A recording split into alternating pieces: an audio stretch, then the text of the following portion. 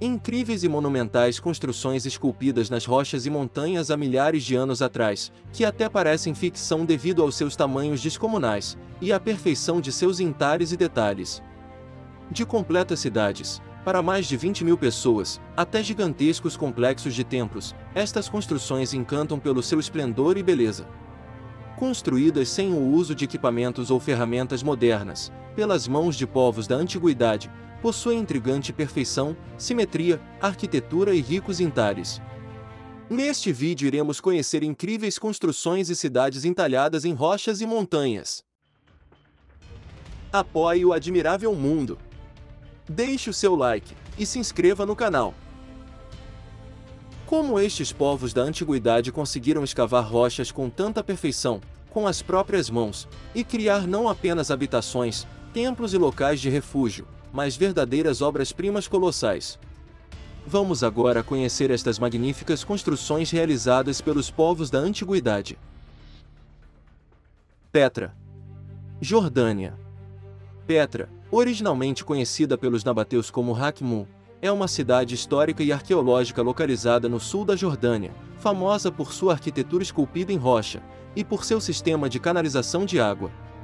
Estabelecida possivelmente já em 312 antes da Era Comum, como a capital dos árabes nabateus, é um símbolo jordaniano, assim como a atração turística mais visitada do país. Famosa por sua participação especial no filme Indiana Jones e a Última Cruzada, Petra é uma antiga cidade de caravanas escondida nas montanhas do sul da Jordânia. O local foi habitado desde a pré-história, mas atingiu seu pico há cerca de dois mil anos, quando os antigos nabateus esculpiram à mão as encostas de arenito circundantes, em uma deslumbrante coleção de túmulos, salões de banquetes e templos.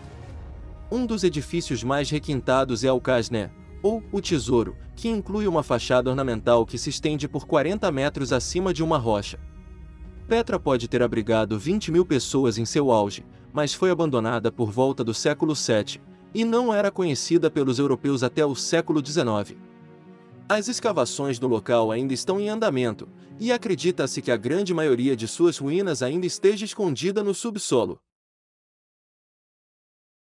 Grutas de Elora Índia As Grutas de Elora são um santuário único, que mistura a arte e a cultura de três religiões diferentes, budismo, hinduísmo e jainismo, e ilustra o espírito de tolerância, característico da Índia antiga, que permitiu a essas três religiões estabelecerem seus santuários e comunidades em um único lugar.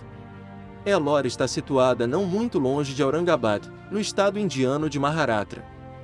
Este local abriga 34 mosteiros e templos, estendendo-se por uma distância de mais de 2 quilômetros. Essas estruturas foram escavadas na parede de um alto penhasco de basalto, não está claro quando essas cavernas foram construídas, mas os pesquisadores estimam que seu início tenha sido por volta do ano 200 antes da Era Comum. As cavernas mais antigas encontram-se no lado sul da falésia, e são de origem budista.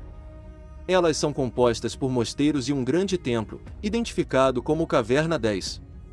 Muito esforço foi colocado nessas estruturas, por exemplo, na Caverna 12, acredita-se que o edifício de três andares tenha sido construído inteiramente por mãos humanas e trabalho duro.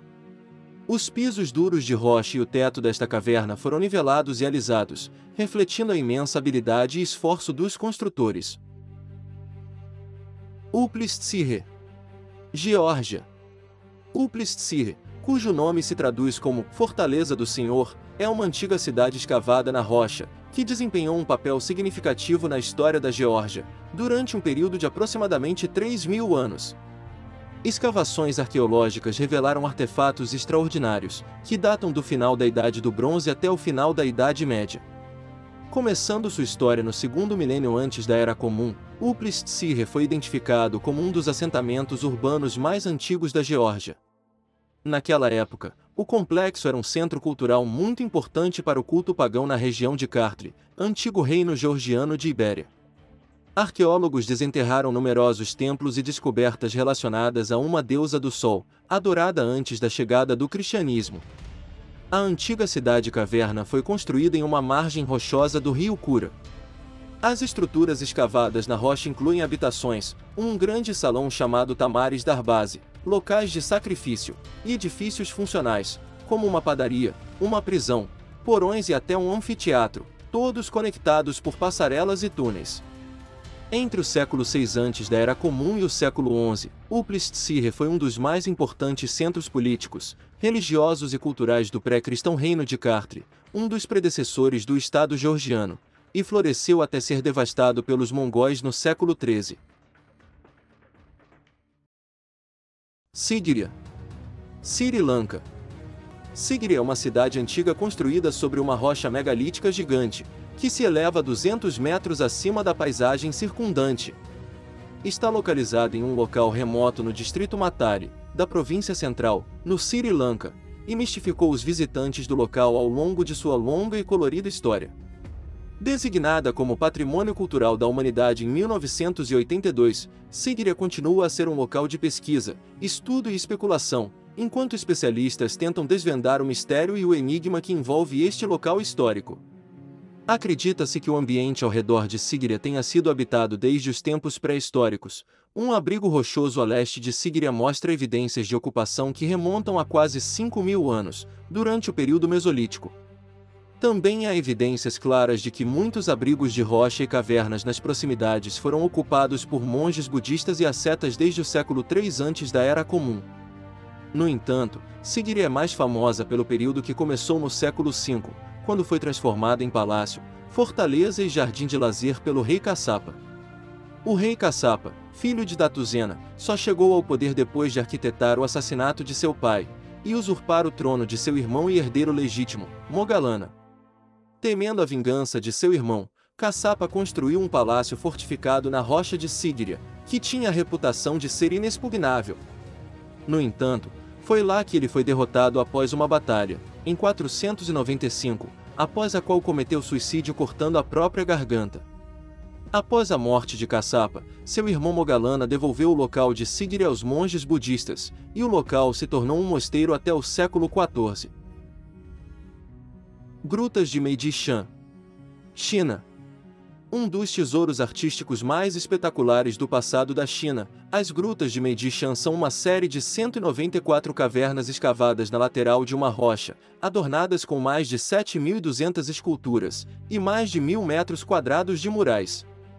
O nome de Meiji-shan, que significa pilha de trigo, deriva da aparência da colina, de um gigante palheiro, que se eleva a 142 metros acima da paisagem plana, porém exuberante. Este surpreendente exemplo de arquitetura escavada na rocha remonta à era Qin posterior, entre os anos 384 e 417, quando o budismo chegou à China, vindo da Índia, e sua construção e restauração se estenderam por 12 dinastias subsequentes, cada era trazendo consigo a influência de novas culturas e pessoas.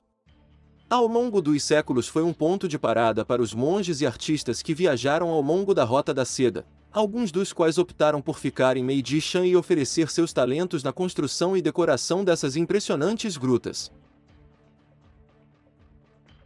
Cavernas de Ajanta Índia As cavernas de Ajanta são uma série de mais de 30 cavernas, que foram construídas por volta de 200 antes da Era Comum, e foram usadas como retiro para monges budistas durante a estação das monções. As cavernas foram abandonadas após o século VII, quando o budismo declinou na Índia, mas ainda hoje são consideradas sagradas pelos habitantes locais. Durante os séculos de uso, as cavernas foram ampliadas e decoradas. Elas estão cheias de belas pinturas e criam uma atmosfera serena para o visitante. Muitas das pinturas e esculturas retratam a vida de Buda, bem como suas encarnações anteriores, conhecidas como jatakas.